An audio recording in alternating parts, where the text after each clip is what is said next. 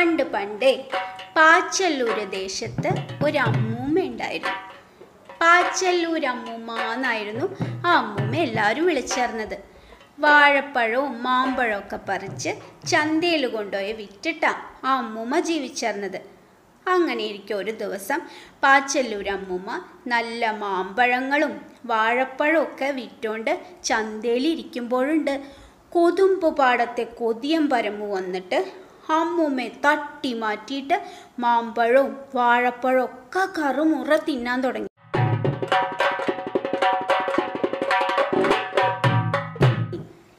പാവം പാച്ചല്ലൂർ അമ്മൂമ്മ അവിടെ നിന്ന് ഉറക്ക കരയാനും തുടങ്ങി. അമ്മൂമ്മയുടെ കരച്ചിൽ കേട്ടിട്ടേ ആ ചന്തയിലുണ്ടായിരുന്ന പാണ്ഡൻ നായ വന്ന് അമ്മൂമ്മോട് ചോദിച്ചു അല്ല എന്തിനാ പാച്ചല്ലൂർ അമ്മൂമ്മ അങ്ങനെ കരയണേ? പാച്ചല്ലൂർ അമ്മൂമ്മ ഉണ്ടായ കാര്യങ്ങളൊക്കെ പാണ്ഡനായോട് പറഞ്ഞു. അവന് ദേഷ്യം വന്ന് വേഗം കൊതിയം പരമുവിന്റെ നേരെ കുരച്ചങ്ങട് ചാടി.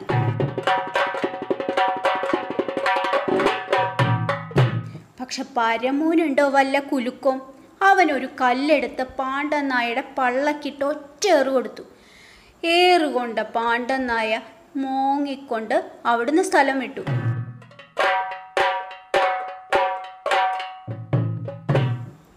അത് കണ്ട് പാച്ചല്ലൂർ അമ്മമ്മ പിന്നെയും കരയാൻ തുടങ്ങി. അപ്പോൾ വെമ്പായത്തെ വമ്പൻ പന്നി ആ വഴി വന്നു. എന്തിനാ പാച്ചല്ലൂർ അമ്മൂമ്മ ഇങ്ങനെ കിടന്ന് കരയണേ? അമ്മൂമ്മ ഉണ്ടായ കാര്യങ്ങളൊക്കെ വമ്പൻ പന്നിയോട് പറഞ്ഞു. വമ്പൻ പന്നി ഉടനെ മുക്കറയിട്ടുകൊണ്ട് കൊതിയം പരമുവിന്റെ നേർക്ക് ഓടിച്ചെന്നു. പക്ഷെ പരമു ഉണ്ടാനങ്ങണു അവനൊരു മുട്ടം വടിയെടുത്ത് പന്നിക്കിട്ട് ഒറ്റടി വെച്ചു കൊടുത്തു. വമ്പൻ പന്നി ആട്ടിക്കൊണ്ട് കൊണ്ട് ഞെരങ്ങി ഞെരങ്ങി അവിടുന്ന് സ്ഥലം വിട്ടു.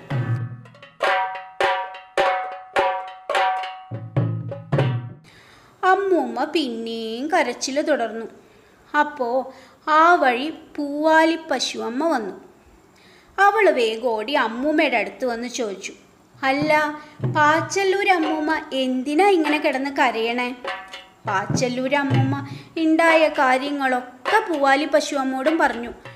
പൂവാലി പശുവമ്മ അത് കേട്ട് ദേഷ്യം വന്ന് കൊമ്പും കുലുക്കി കൊതിയാൻ പരമൂനെ കുത്താൻ ചെന്നു. പരമോനുണ്ടോ വല്ല പേടി? അവനൊരു കമ്പെടുത്ത് പൂവാലി പശുവമ്മേക്കും നാലഞ്ച് അടി കൊടുത്തു. അടിയും കൊണ്ട് കരഞ്ഞുകൊണ്ട് പൂവാലി പശുവമ്മ എങ്ങടോ പോയി.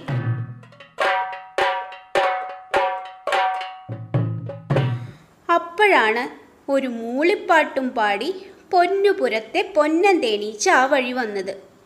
അമ്മുമ്മയുടെ കരച്ചിൽ കേട്ടിട്ട് ചോദിച്ചു പാച്ചല്ലൂരമ്മൂമ്മേ എന്തിനാ ഇങ്ങനെ കിടന്ന് കരയണേ? കാര്യങ്ങളെല്ലാം പാച്ചല്ലൂരമ്മൂമ്മ തേനീച്ചയോടും പറഞ്ഞു.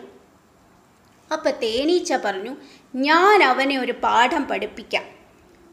എന്റെ പൊന്നൻ തേനീച്ചേ നിന്നേക്കാളും വമ്പന്മാരായ പാണ്ടന്നായും പന്നിയും പൂവാലി പശുവും തോറ്റോടി.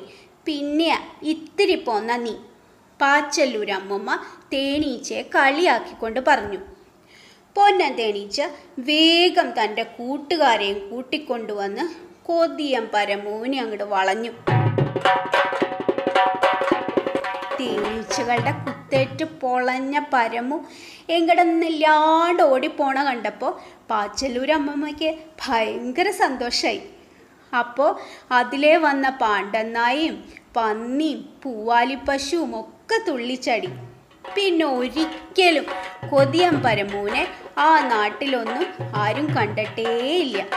പാച്ചല്ലൂരമ്മൂമ്മ അങ്ങനെ കൊതിയം പരമൂന്റെ ശല്യമില്ലാണ്ട് ആ ചന്തയിൽ കച്ചവടവും നടത്തി സുഖമായിട്ട് ജീവിച്ചു.